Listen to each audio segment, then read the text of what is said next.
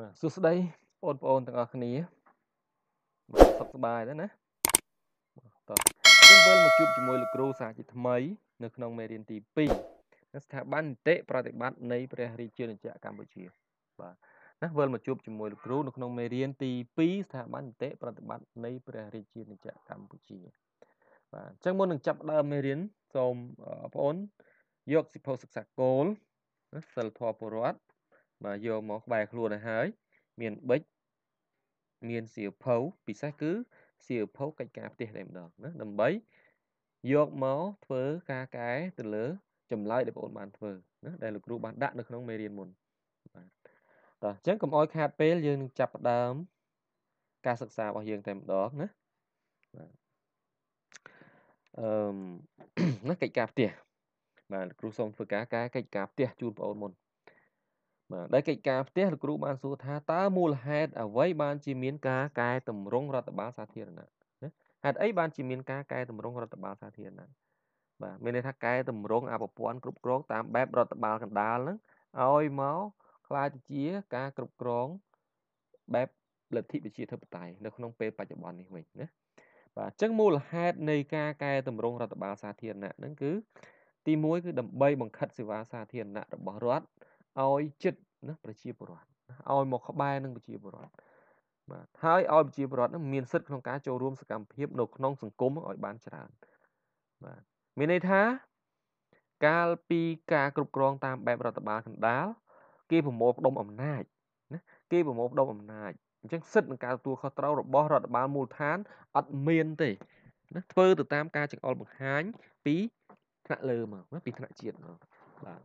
ចឹងហើយបានជាគេធ្វើកំណែតម្រង់ដើម្បីបង្ខិតសេវានឹងឲ្យមកក្បែរប្រជាពលរដ្ឋណាឧទាហរណ៍ដូចជាការធ្វើ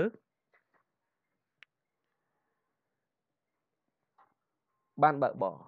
ណាចឹងកាលពីពីមុនយើងត្រូវទៅធ្វើនៅភ្នំពេញនៅក្រសួងសាធារណការនឹងដឹកជញ្ជូន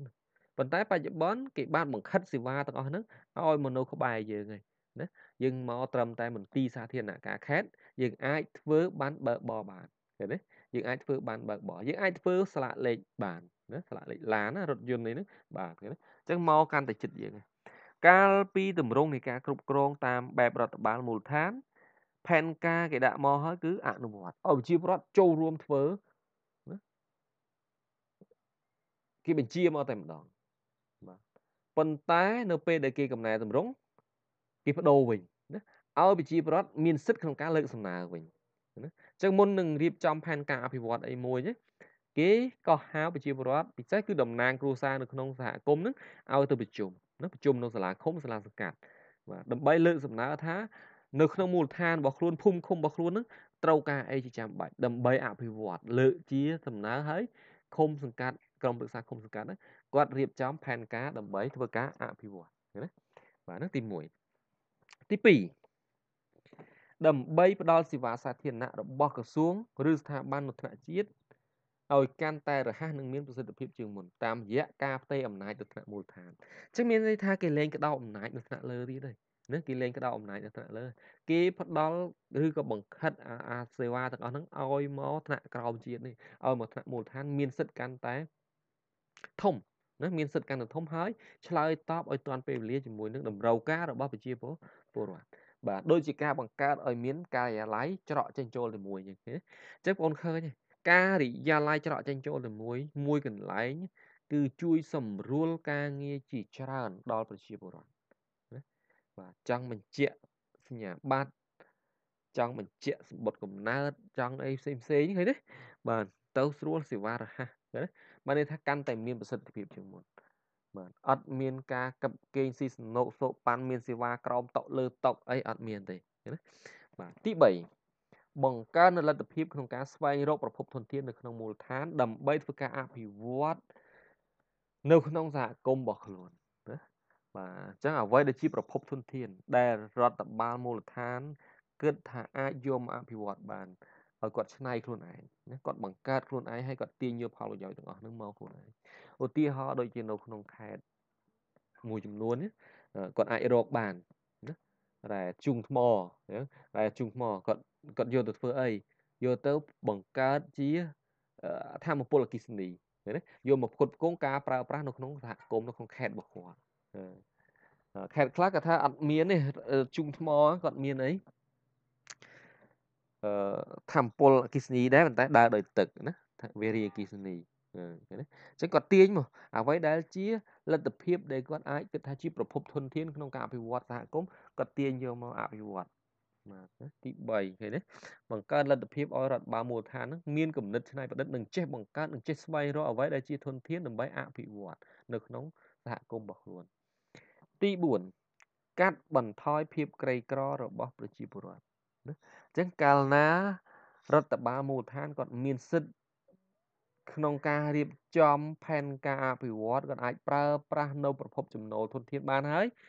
គាត់ប្រកាសជាដោះស្រាយទៅនឹងអ្វីដែលជាតម្រូវការចម្បងរបស់ប្រជាពលរដ្ឋដែរណាគាត់ដោះស្រាយអ្វីដែលជាបញ្ហាចម្បងរបស់ប្រជាពលរដ្ឋណាធ្វើឲ្យប្រជាពលរដ្ឋគាត់កាត់បន្ថយភាពក្រីក្របានណាឧទាហរណ៍គាត់ធ្វើស្រែបានគាត់ធ្វើចំការបានប៉ុន្តែអត់ទីផ្សារ នេះរដ្ឋបាលនៅថ្នាក់មូលដ្ឋានគាត់ព្យាយាមតាក់ទងទៅខាងក្រៅដើម្បីរកទីផ្សារឲ្យណាគាត់ព្យាយាមតាក់ទាញអ្នកវិនិយោគខាងក្រៅឲ្យមកវិនិយោគនៅកន្លែងគាត់ឧទាហរណ៍តាក់ទាញអ្នកវិនិយោគឲ្យមកអីណាផលិតរោងចក្រស្ករសអញ្ចឹងរាល់រាល់អំពៅដែលប្រជាពលរដ្ឋដាំបានអត់ពិបាកទីផ្សារទៀតទេឃើញទេនឹងសួរថានឹងអាចកាត់បន្ថយភាពក្រីក្ររបស់ប្រជាពលរដ្ឋមូលដ្ឋានបានអត់ ប្រកាសជាបានមែនទេប្រកាសជាបានតាក់ទាញអ្នកវិនិយោគឲ្យមកបង្កើតរោងចក្រឆ្នៃដំឡូងមីអញ្ចឹងដំឡូងធ្លាប់តែថោកអត់មានទីផ្សារយើងលែងខ្វល់ទៀតព្រោះមានរោងចក្រនៅក្នុងខេត្តរបស់យើងឯងបាទនឹងកាត់បន្ថយភាពក្រីក្ររបស់ប្រជាជាពលរដ្ឋបាទមួយទៀតគឺលើកកម្ពស់ការអភិវឌ្ឍតាមបែបលទ្ធិប្រជាធិបតេយ្យមានន័យថាគេប្រើគោលការណ៍មួយគឺផ្ដល់សិទ្ធិនិងសេរីភាពពេញលេញជូនទៅប្រជាពលរដ្ឋ ឃើញភាពមិនប្រក្រតីឃើញចំណុចណាមួយដែលមិនត្រឹមត្រូវរបស់មន្ត្រីសាធារណៈប្រជាពលរដ្ឋមានសិទ្ធិក្នុងការលើកជាសំណើមានសិទ្ធិក្នុងការរិះគន់និងកែកែលម្អឃើញទេបាទអញ្ចឹងអឺបងប្អូនធ្វើត្រូវបានប្រហែលដែរបើធៀបចម្លើយជាមួយនឹងលោកគ្រូបាទត្រូវបានច្រើនណាបាទអរគុណ អរគុណសម្រាប់ការយកចិត្តទុកដាក់ក្នុងការធ្វើកិច្ចការងារស្រាវជ្រាវ ដែលលោកគ្រូបានផ្ដល់ផ្ដល់ឲ្យនៅក្នុងមេរៀនមុននេះតោះអញ្ចឹងយើងទៅមើលវត្ថុបំណងមេរៀនរបស់យើងវត្ថុបំរុងនៃបំណងនៃមេរៀនទី2របស់យើងបាទស្ថាប័ននីតិប្រតិបត្តិនៃវិទ្យាល័យកម្ពុជាណាបាទចឹងមានន័យថាក្រោយពីប្អូនបានរៀនចប់មេរៀននេះរួចហើយប្អូននឹងចេះពណ៌នាអំពីការបង្កើតស្ថាប័ននីតិប្រតិបត្តិថា ស្ថាប័ននីតិប្រតិបត្តិនឹងគេបង្កើតឡើងដោយរបៀបណាណាយន្តការនៃការបង្កើតនឹងគេធ្វើរបៀបម៉េចបាទទី2បំណិនសម្បទាគឺប្អូនអាចបង្ហាញរៀបរាប់ពណ៌នាអំពីទួនាទីនិងការទួលខុសត្រូវរបស់សមាជិករដ្ឋាភិបាលនីមួយៗបាទនឹងទី3ចរិយាសម្បទាបាទថាប្អូនមានអរិយាប័ត្រណាមានស្មារតីក្នុងការចូលរួមនិងគ្រប់គ្រងទៅលើគោលនយោបាយរបស់រដ្ឋាភិបាលក្នុងកិច្ចដឹកនាំអភិវឌ្ឍសង្គម សង្គមជាតិរបស់យើងបាទតាអញ្ចឹងពាក្យកន្លឹះនៅក្នុងមេរៀនរបស់យើងណាបាទទី1គឺពាក្យថាយន្តការ ពាក្យថាយន្តការនេះ គឺមានន័យថាប្រព័ន្ធនៃការធ្វើការជាមួយគ្នាណាប្រព័ន្ធនៃការធ្វើការងារជាមួយគ្នាឧទាហរណ៍យន្តការផ្នែកនីតិប្រតិបត្តិមានន័យថានៅក្នុងផ្នែកនីតិប្រតិបត្តិហ្នឹងតើមានសមាជិកភាព គណៈរដ្ឋមន្ត្រីណាខ្លះដែលធ្វើការជាមួយគ្នាឃើញហ្នឹងគេហៅថាយន្តការណាបាទទី2គឺពាក្យថាប្រេសិតអញ្ចឹងពាក្យថាប្រេសិតនេះ មានន័យថាជាការបញ្ជូនឬក៏ប្រគល់ភារកិច្ចទៅឲ្យបុគ្គលណាម្នាក់ដើម្បីធ្វើការងារណាបាទបញ្ជូនឬក៏ប្រគល់ភារកិច្ចទៅឲ្យបុគ្គលណាម្នាក់ដើម្បីបំពេញការងារឧទាហរណ៍បញ្ជូនបុគ្គលកឲ្យទៅប្រទេសណាមួយ ណាប្រទេសខអញ្ចឹងទៅ ដើម្បីធ្វើការចរចាអំពីកិច្ចប្រជុំស្ដីអំពីបាទស្អីស្អីចឹងមកណាបាទបាទហ្នឹងគេហៅថាប្រេសិតណាគេហៅថាប្រេសិតបាទបាទចំណុចទី1យើងនិយាយអំពីការបង្កើតស្ថាប័ននីតិប្រតិបត្តិវិញម្ដងការបង្កើតស្ថាប័ននីតិប្រតិបត្តិ ចឹងតាមមាត្រា119ថ្មី រដ្ឋាភិបាលបានរៀបចំបង្កើតឡើង តាមសំណើពីប្រធានរដ្ឋសភានិងការយល់ព្រមពីអនុប្រធានទាំងពីរឃើញទេបាទចុះហេតុអីបានជាលោកគ្រូដាក់រូបបោះឆ្នោតណាការិយាល័យបោះឆ្នោតនៅក្នុងចំណុចនៃការបង្កើតស្ថាប័ននីតិប្រតិបត្តិបាទគឺមកពីការបង្កើតស្ថាប័ននីតិប្រតិបត្តិឬក៏ការបង្កើតរដ្ឋាភិបាលហ្នឹងគឺកើតចេញអំពីការបោះ បោះឆ្នោតណាបោះឆ្នោតពីប្រជាពលរដ្ឋដែលមានអាយុចាប់ពី18ឆ្នាំ18ឆ្នាំឡើងណាបាទអញ្ចឹងតាមមាត្រា119ថ្មីរដ្ឋាភិបាលគឺកើតឡើងពីសំណើរបស់ប្រធាននិងអនុប្រធានទាំងពីរនៃរដ្ឋសភាដាក់ថ្វាយទៅព្រះមហាក្សត្រទើបព្រះមហាក្សត្រចាត់តាំងវរជនមួយរូបក្នុងចំណោមតំណាងរាស្ត្រគណៈបកដេកឈ្នះឆ្នោតឃើញទេបាទណាដេកឈ្នះឆ្នោតបន្ទាប់ពីបោះឆ្នោតមកបាទគណៈបកនីមួយៗនឹងចាំស្ដាប់ ការបូកសរុបលទ្ធផលហើយណាចាំស្ដាប់ការបូកសរុបលទ្ធផលតែក្រោយពីប្រកាសថាបកកឈ្នះឆ្នោតសរុបទូទាំងប្រទេសបានសម្លេង60អាសនៈឃើញទេអញ្ចឹងមានន័យថាគាត់ឈ្នះហើយណាគាត់ឈ្នះកាលណាឈ្នះប្រធាននិងអនុប្រធានទាំងពីរនៃរដ្ឋសភាចាប់ដើមដាក់សំណើបញ្ជូនបេក្ខជននៅក្នុងគណៈបកដែលឈ្នះឆ្នោតហ្នឹងទៅព្រះមហាក្សត្រទៅព្រះមហាក្សត្រទ្រង់ចាត់តាំងវរជនដែលជាប់នៅ ឈ្នះឆ្នោតនៅក្នុងគណៈបកនយោបាយមួយហ្នឹងឲ្យចាត់ចែងបង្កើតរដ្ឋាភិបាលណាហើយចាត់ចែងបង្កើតរដ្ឋាភិបាលដោយដឹកនាំនៅតំណាងរាស្ត្រផ្សេងៗទៀតទៅគូបកងតាមតំណែងរៀងរៀងរៀងខ្លួនណាចាត់តាំងតំណាងរាស្ត្រកនឹងឲ្យទៅកាន់ការងារនៅក្នុងខេត្តខទៅកាន់ខេត្តខទៅកាន់ខេត្តងអញ្ចឹងបាទអញ្ចឹងចែងទៅតាមទួនាទីនិងភារកិច្ចណា ឲ្យឯកឧត្តមនេះទៅកាន់ការងារក្រសួងនេះក្រសួងនោះអញ្ចឹងទៅទៅជាឧបនាយករដ្ឋមន្ត្រីទៅជាអីអញ្ចឹងទៅណាបាទចឹងបន្ទាប់ពីរៀបចំគូបគងទៅតាមតំណែងរៀងរៀងខ្លួនហើយទៅស្នើសុំទៅណាទៅរដ្ឋសភាបាទអញ្ចឹងបន្ទាប់ពីគូគងដឹកនាំសហការីគូគងទៅតាមតំណែងរួចរាល់ហើយស្នើសុំសេចក្តីទុកចិត្តម្ដងទៀតទៅកាន់រដ្ឋសភា បន្ទាប់ពីរដ្ឋសភាពិនិត្យនិងផ្ដល់សេចក្តីទុកចិត្តទើប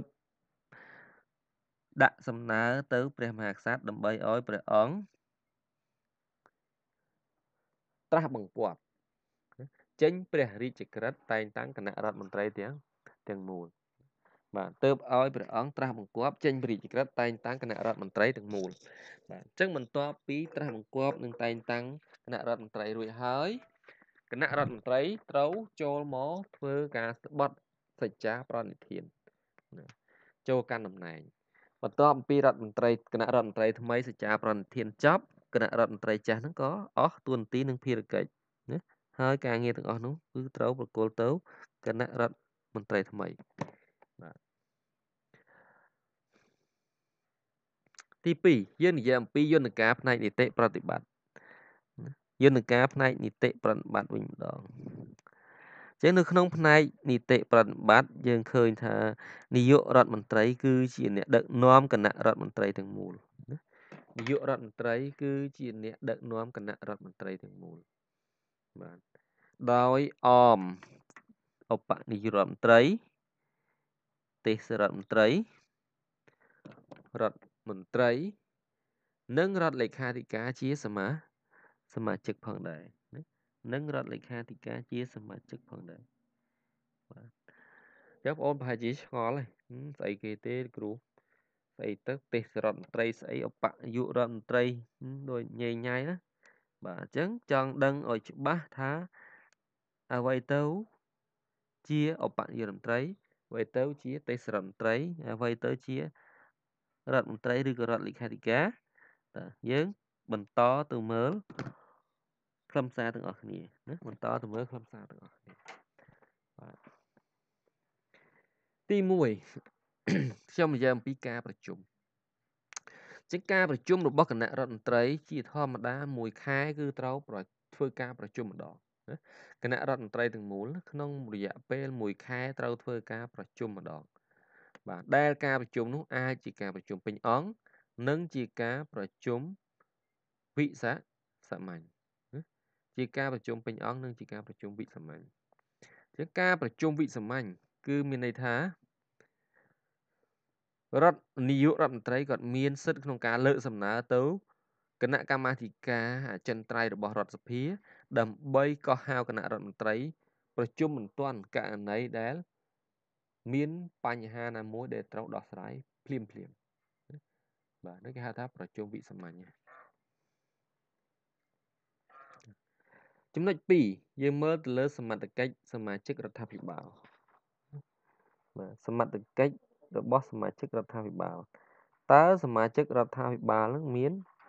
ទួនាទីនិងភារកិច្ចយ៉ាងដូចម្តេចខ្លះទី1ខ្ញុំលើកយកសមត្ថកិច្ចរបស់នាយករដ្ឋមន្ត្រីណាបាទអញ្ចឹងនាយករដ្ឋមន្ត្រី គឺជាសមាជិករដ្ឋសភា បាទមានន័យថានាយករដ្ឋមន្ត្រីក៏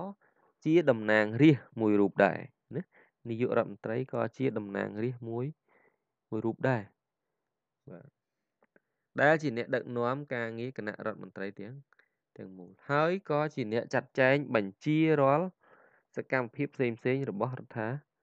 ដ្ឋាភិបាលចឹងហើយបានជាយើងឃើញនិយមន័យខាងដើម នៅក្នុងមេរៀនទី1 គេនិយាយថារដ្ឋាភិបាលជាអ្វីគេថារដ្ឋាភិបាល តាមន័យទូលាយគឺសំដៅទៅលើស្ថាប័នទាំងទាំង3ណា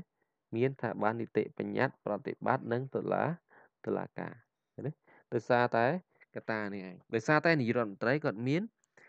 ទួនាទីនិងភារកិច្ចក្នុងការរៀបចំចាត់ចែងបញ្ជារាល់សកម្មភាពទាំងអស់របស់រដ្ឋាភិបាលលើគ្រប់វិស័យតែម្ដងបាទ នាយករដ្ឋមន្ត្រីលោកមានទួនាទីនិងភារកិច្ចសំខាន់សំខាន់ដូចជាណាទី1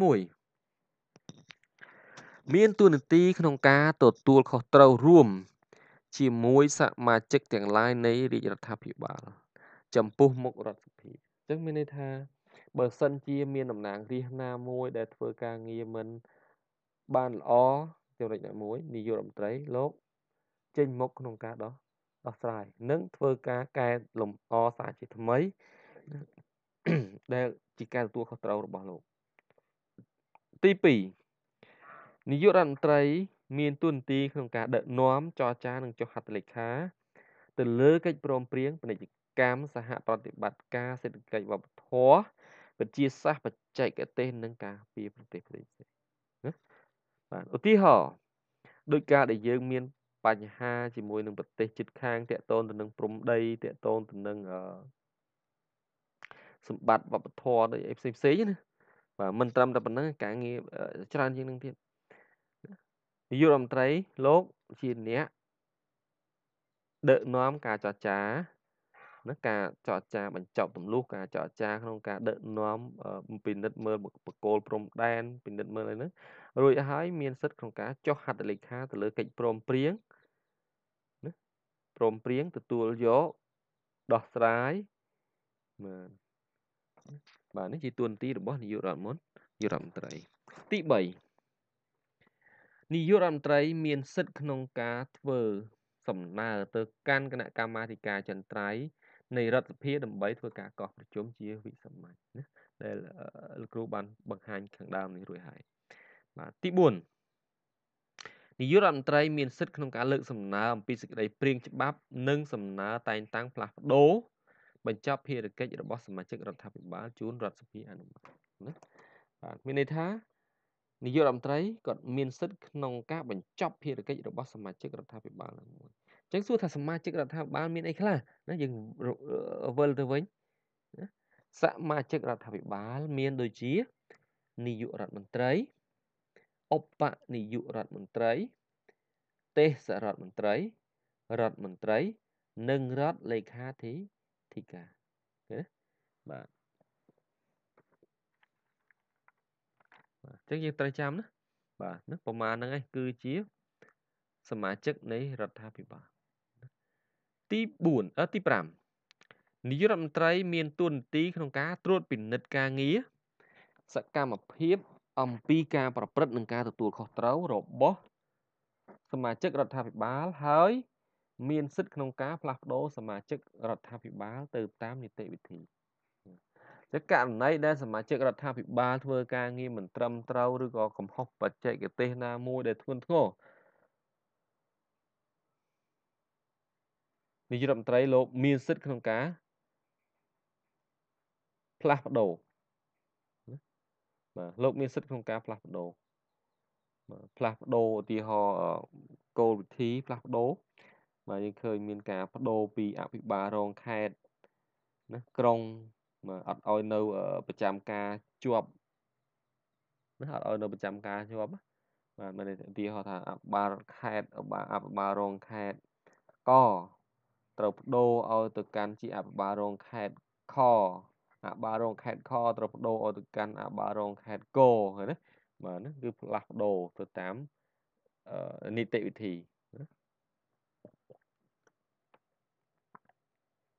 ទី6នាយករដ្ឋមន្ត្រីមានសិទ្ធិក្នុងការលើកសំណើថ្វាយព្រះមហាក្សត្រក្នុងការតែងតាំងផ្លាស់ប្ដូរបញ្ចប់ភារកិច្ចមន្ត្រីជាន់ខ្ពស់ស៊ីវិលនិងយោធាដោយព្រះរាជក្រឹត្យមានន័យថា គាត់មានសិទ្ធិក្នុងការសំណើទៅព្រះមហាក្សត្រដើម្បីឲ្យដកហូតនៅមុខដំតំណែងឬក៏ផ្លាស់ប្ដូរឲ្យទៅកាន់ការងារណាណាមួយនៅក្នុងក្របខ័ណ្ឌជាតិបាទអញ្ចឹងមន្ត្រីជាន់ខ្ពស់ឬក៏យោធាទាំងអស់ហ្នឹងមានដូចជា ទី1នោះគឺទេសាភិបាលឬក៏ទេសាភិបាលរងនៃធនាគារជាតិនៃកម្ពុជា ទី2ទីប្រឹក្សារាជរដ្ឋាភិបាល ទីប្រឹក្សានាយករដ្ឋមន្ត្រី អគ្គលេខាធិការក្រសួងអគ្គនាយកក្រសួង ប្រតិភូរាជរដ្ឋាភិបាលអភិបាលរាជធានីខេត្តឯកអគ្គរាជទូតព្រេសិទ្ធវិសាមញ្ញពេញសមត្ថភាពអគ្គនាយអគ្គសេនាធិការនិងនាយអគ្គសេនាធិការរងចាប់ពីឧត្តមសេនីយ៍ឡើងឡើងទៅណាបាទអញ្ចឹងចំពោះទួនាទីរបស់យោធាឬក៏មន្ត្រីជាន់ខ្ពស់ទាំងអស់នេះ គឺត្រូវស្នើទៅព្រះមហាក្សត្រដើម្បីតែងតាំងឬក៏ផ្លាស់ប្ដូរបញ្ចប់ភារកិច្ចដែលស្ថិតនៅក្រោមការទទួលខុសត្រូវរបស់នាយករដ្ឋមន្ត្រីណាឥឡូវយើងចូលទៅចំណុចខគឺយើងនិយាយអំពីឧបនាយករដ្ឋមន្ត្រីឧបនាយករដ្ឋមន្ត្រី គឺជាសមាជិករដ្ឋាភិបាលមួយរូបដែរណាដែលមានអាសនានុក្រមលើសពីសមាជិករដ្ឋាភិបាលផ្សេងផ្សេងទៀតណា បាទដែលឧបនាយករដ្ឋមន្ត្រីគាត់មានទួនាទីជា អ្នកធ្វើការងារណាជាអ្នកធ្វើការងារតំណាងឲ្យនាយករដ្ឋមន្មន្ត្រីណាជាជំនួយការងាររបស់នាយករដ្ឋមន្ត្រីករណីដែលនាយករដ្ឋមន្ត្រីគាត់មានធុរៈរវល់អីចឹងការងារទទួលខុសត្រូវហ្នឹងគឺត្រូវប្រគល់ទៅឲ្យឧបនាយករដ្ឋមន្ត្រីធ្វើការងារជំនួសក្នុងរយៈពេលឬក៏ក្របខ័ណ្ឌណាណាមួយណា គ្រូបញ្ជាក់កន្លែងនេះបន្តិចថានៅក្នុងប្រទេសកម្ពុជាយើងនៅក្នុងប្រទេសកម្ពុជាយើងឧបនាយករដ្ឋមន្ត្រីក៏មានមុខងារជា ប្រធានស្ថាប័នផងដែរ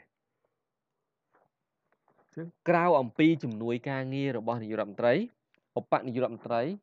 ក៏កាន់ការងារជា ប្រធានក្រសួងដែរឧទាហរណ៍ឧបនាយករដ្ឋមន្ត្រីរដ្ឋមន្ត្រីក្រសួងការ ពារជាតិណាក្រសួងការពារជាតិណាបាទគាត់ជាឧបនាយករដ្ឋមន្ត្រីផង ហើយក៏ជារដ្ឋមន្ត្រីនៃក្រសួងការពារការជីការពារជាតិផងដែរចំណុចកកចំណុចកយើងនិយាយអំពីទេសរដ្ឋមន្ត្រីវិញម្ដងអញ្ចឹងបើនិយាយអំពីទេសរដ្ឋមន្ត្រី គឺយើង សំដៅទៅលើរដ្ឋមន្ត្រីដែលមានអតីតភាពការងារយូរណាបងយល់ពាក្យថាអតីតភាពការងារយូរហើយមែនទេ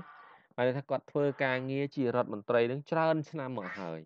ណាគាត់ធ្វើការងារជារដ្ឋមន្ត្រីច្រើនឆ្នាំមកហើយអញ្ចឹងពេលដែលគាត់ធ្វើការងារជារដ្ឋមន្ត្រីច្រើនឆ្នាំហើយហ្នឹងគាត់នឹងមានក្រុមងារមួយហៅថាទេសរដ្ឋ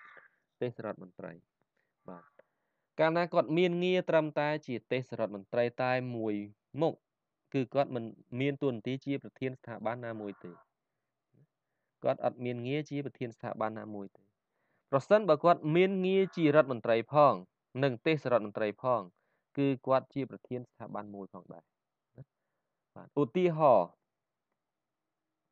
ទេសរដ្ឋមន្ត្រីរដ្ឋមន្ត្រីក្រសួងផែនការណា ទេសរដ្ឋមន្ត្រីរដ្ឋមន្ត្រីក្រសួងផែនការអញ្ចឹងមានន័យថាគាត់មានងារជាទេសរដ្ឋមន្ត្រីគាត់មានការងារជាទេសរដ្ឋមន្ត្រីដែលតំណាងដែលធ្វើការងារតាមការចាត់តាំងរបស់នាយករដ្ឋមន្ត្រីក្នុងការចុះជួយតំបន់ភូមិភាគណាមួយអញ្ចឹងណាផងហើយគាត់ក៏មានការងារជាប្រធានក្រសួងមួយផងដែរណាគាត់មានការងារពីរណាបាទតែបើគាត់មានងារត្រឹមតែជាទេសរដ្ឋមន្ត្រីមួយទេ គឺគាត់ការងារមានត្រឹមតែការងារចុះជួយ អន្តរាគមតាមតំបន់ភូមិភាគណាមួយទេណាក៏អត់មានការងារនៅក្នុងការដឹកនាំក្រសួងស្ថាប័នណាមួយទេខយើងនិយាយអំពីរដ្ឋមន្ត្រីវិញណាអញ្ចឹងរដ្ឋមន្ត្រី គឺសំដៅទៅលើរដ្ឋមន្ត្រីសំដៅទៅលើ ប្រធានស្ថាប័ន ណាសំដៅទៅលើប្រធានស្ថាប័នប្រធានអង្គភាពបាទណាបើនិយាយស្ថាប័នបងយល់គឺប្រធានអង្គភាពហើយបើនិយាយពីអង្គភាពអត់យល់ទៀតគឺសំដៅទៅលើកន្លែងធ្វើការបាទណាបើនិយាយថាមិនយល់អង្គភាពទៀតណាបាទឧទាហរណ៍ដូចសាលាយើងមួយអញ្ចឹងសាលារៀនមួយគឺជាអង្គភាពមួយបាទណាបាទជាអង្គភាពមួយណាអញ្ចឹងគេហៅនាយកសាលាគេថាជា ប្រធានអង្គភាពបាទឃើញទេ បើនេះថាគាត់ដឹកនាំឲ្យដឹកនាំសាលាការងារកិច្ចការងារទូទៅនៅក្នុងសាលាបាទអញ្ចឹងរដ្ឋមន្ត្រីដូចគ្នាគាត់ជាប្រធានស្ថាប័នណាជាប្រធានស្ថាប័នដែលការងាររបស់គាត់គឺដឹកនាំក្រសួងណាគាត់ជាអ្នកគ្រប់គ្រងក្រសួងទាំងមូលតែម្ដងដែលនៅក្នុងនោះមានរដ្ឋលេខាធិការជាអនុប្រធានណាហើយអនុរដ្ឋលេខារដ្ឋលេខាធិការនោះគឺមានច្រើនណាមានច្រើនបាទមិនមែនមានតែមួយទេខ្ញុំឧទាហរណ៍ ឯកឧត្តមហងជួននរនជារដ្ឋមន្ត្រីក្រសួងអប់រំយុវជននិងកីឡាមានន័យថាឯកឧត្តមហងជួននរនគាត់ដឹកនាំការងារនៅក្នុងក្រសួងអប់រំយុវជននិងកីឡាទាំងមូលគាត់ជាអ្នករៀបចំចាត់ចែងដឹកនាំការងារនឹងទាំងមូលតែម្ដងដែលមានរដ្ឋលេខាធិការចឹងរដ្ឋលេខាធិការដូចខ្ញុំបញ្ជាក់ម្ដងហើយម្ដងទៀតថារដ្ឋលេខាធិការមានច្រើនប៉ុន្តែខ្ញុំលើកយកតែមួយមកឧទាហរណ៍បងប្អូនទេគឺឯកឧត្តមណាតប៊ុនរឿនជារដ្ឋលេខាធិការក្រសួងអប់រំយុវជននិងកីឡាឃើញទេ បាទ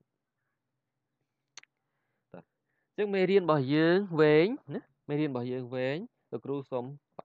ត្រឹមនេះទុក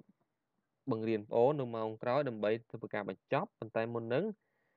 សម្រាប់លោកគ្រូមានកិច្ចការដើម្បីឲ្យបងប្អូនស្រាវជ្រាវណា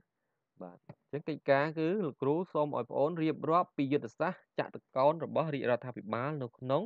នីតិកាលទី5 6នេះ ចឹងនៅក្នុងនីតិកាលទី6តើរដ្ឋាភិបាលមានយុទ្ធសាស្ត្រចតុកោណដែលផ្ដោតសំខាន់ទៅលើការដឹកនាំនិងអភិវឌ្ឍបែបណាខ្លះចឹងសូមឲ្យបងប្អូនធ្វើទាំងអស់គ្នាណាហើយលោកគ្រូសង្ឃឹមថាបងប្អូននឹងចូលរួមធ្វើកិច្ចការងារមួយនេះបានយ៉ាងល្អហើយក៏សូមជូនពរឲ្យបងប្អូនសំណាងល្អនិងជោគជ័យក្នុងការប្រឡងសញ្ញាបត្រទុតិយភូមិនាពេលខាងមុខ